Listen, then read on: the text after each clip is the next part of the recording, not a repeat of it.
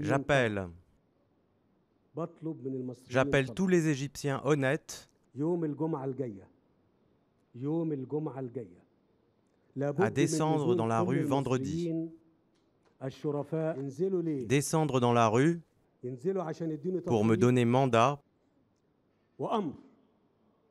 pour en finir avec la violence et le terrorisme.